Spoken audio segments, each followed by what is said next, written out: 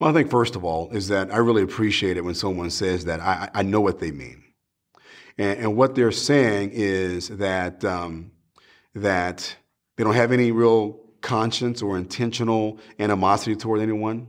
Uh, they're not um, uh, explicitly in, in, in, in, their mind uh, hateful or discriminatory.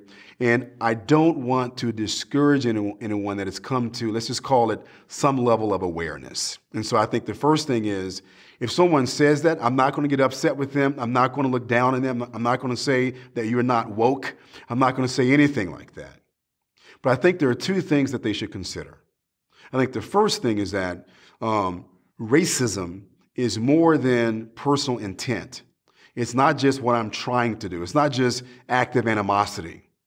Racism can be systemic, which means that uh, there are various kinds of, of uh, traditions, uh, laws, assumptions that we make in our society that can be discriminatory toward people. And I need to be aware of how those things affect those who are marginalized.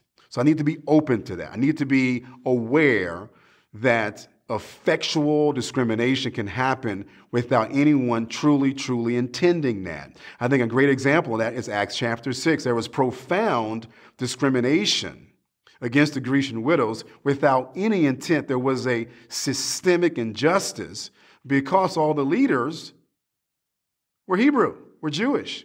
And so that there was no awareness of all these others who had these tremendous needs. And so they corrected that, not by explaining it to the leaders, but by taking systemic structural steps to correct the problem.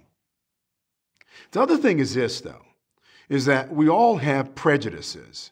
And it may not be called racism, but it is prejudicial. So I can, in a very involuntary way, I can see someone and see them in a class or category that can affect my behavior either to withdraw or in some cases to, to attack or whatever it is uh, those prejudices can drive what I do. So I need to be aware of that and, uh, and you know, check my actions. And of course, don't be offended when somebody catches me in a prejudice.